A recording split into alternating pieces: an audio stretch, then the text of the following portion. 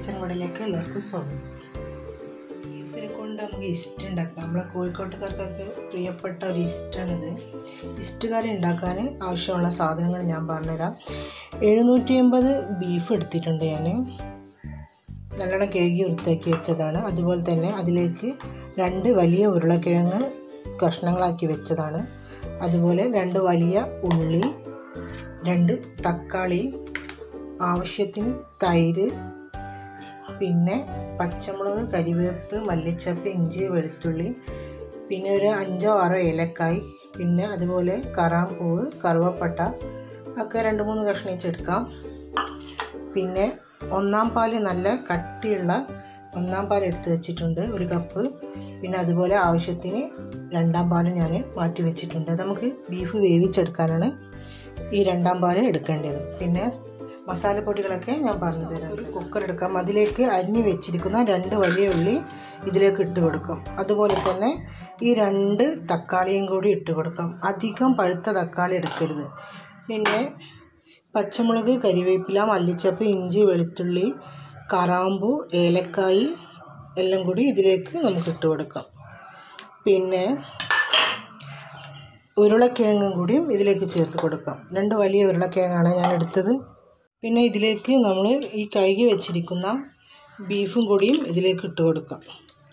നമ്മളിത് താളിക്കുന്നൊന്നുമില്ല ഇങ്ങനെ തന്നെ ഉണ്ടാക്കുകയാണ് ബീഫും കൂടി ഇട്ട് കൊടുത്തതിന് ശേഷം ബാക്കി പൊടികളെല്ലാം ചേർക്കാം ത്രീ ടേബിൾ സ്പൂൺ നമുക്കിതിലേക്ക് മല്ലിപ്പൊടി ഇട്ട് കൊടുക്കാം. നല്ല പച്ചമല്ലിയാണ് ഇട്ട് കൊടുക്കേണ്ടത്. പച്ചമല്ലി ഇട്ട് കൊടുക്കാം. Three tablespoon. ഒരു വൈറ്റ് കളർ പോലത്തെ ആയിരിക്കണം. നല്ല ടേസ്റ്റ് ഉണ്ടാവുള്ളൂ. പിന്നെ അതുപോലെ ഒരു ടേബിൾ സ്പൂണ് ജീരകം വലിയ ജീരകം.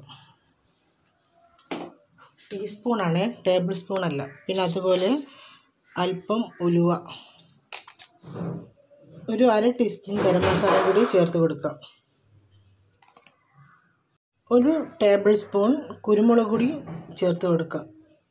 കുരുമുളക് പൊടിയാണ് ഇതിന്റെ ടേസ്റ്റ് മഞ്ഞൾപ്പൊടി ഇതിലേക്ക് ഇട്ട് കൊടുക്കേണ്ട ആവശ്യമേ ഇല്ല. മസാലപ്പൊടികളൊക്കെ ഇട്ട് കൊടുത്തതിന് ശേഷം നമുക്ക് ഇതിലേക്ക് ഈ രണ്ടാം പാൽ നമുക്ക് ഒഴിച്ചു കൊടുക്കാം. ഈ രണ്ടാം പാലിൽ കിടന്നിട്ടാണിത് വേവിച്ചെടുക്കേണ്ടത്. ഇതിലേക്ക് അതിലേക്ക് നമുക്ക് അല്പം വെള്ളം കൂടി ചേർക്കാം.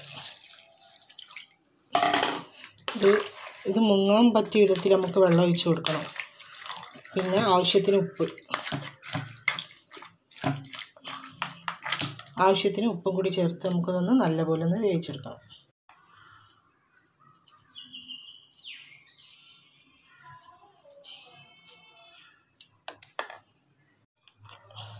ഇതിലേക്ക് ഒരു ടേബിൾ സ്പൂൺ വെളിച്ചെണ്ണം കൂടി നമുക്കൊന്ന് ഒഴിച്ചു കൊടുക്കാം. എന്നിട്ട് ഇത് നല്ലപോലെ ഒന്ന് മിക്സ് ചെയ്യാം. കുക്കർ നമ്മൾ അടുപ്പത്ത് വെച്ചിട്ടുണ്ട്. ഇത് നമുക്കൊരു അഞ്ചോ ആറോ വിസിലിടുന്ന വരെ നമുക്ക് വെയിറ്റ് ചെയ്യാം. കുക്കറിന്റെ ഇതുപോലെ ആയിരിക്കും ഇറച്ചിയുടെ വേവ് കേട്ടോ പിന്നെ ബീഫെല്ലാം വെന്തതിന് ശേഷമാണ് ഈ തൈരും ഒന്നാം പാലൊക്കെ ഒഴിക്കേണ്ടത്. ഇന്ന് ഞാൻ നെയ്ച്ചോറാണ് ഉണ്ടാക്കാൻ പോകുന്നത് ഈ ഈസ്റ്റിന്റെ കൂടെ. അടിപൊളി ടേസ്റ്റ് ആയിരിക്കും. നെയ്ച്ചോറ് ഉണ്ടാക്കുന്ന റെസിപ്പിയൊക്കെ ഞാൻ ഇട്ടിട്ടുണ്ട്.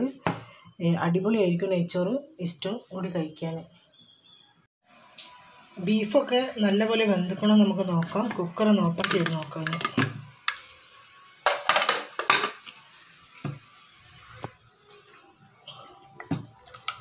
ബീഫൊക്കെ നല്ലപോലെ വന്നിട്ടുണ്ട് ഇതിലുള്ള ഉരുളക്കിഴങ്ങൊക്കെ നമുക്ക് നല്ലപോലെ ഒന്ന് ഉടച്ചെടുക്കാൻ ഇതിലുള്ള ഉരുളക്കിഴങ്ങളൊക്കെ നല്ലപോലെ ഒന്ന് നമുക്ക് ഉടയ്ക്കാം.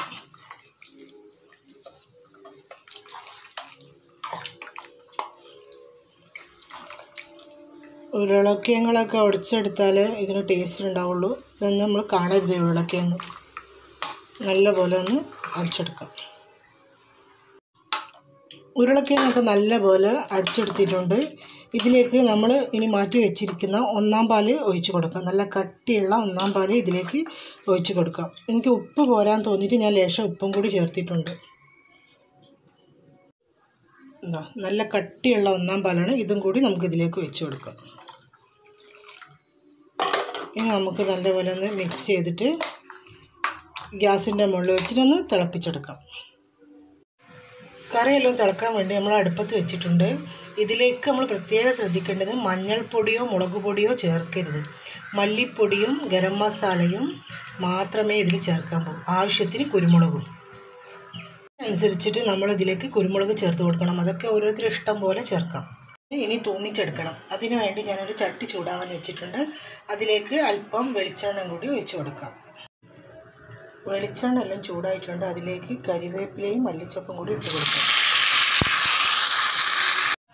കറിയെല്ലാം അവിടെ തിളച്ച് വന്നിട്ടുണ്ട്. അതിലേക്ക് നമുക്ക് ഒരു ത്രീ ടേബിൾ സ്പൂൺ തൈരും കൂടി ചേർത്ത് കൊടുക്കാം.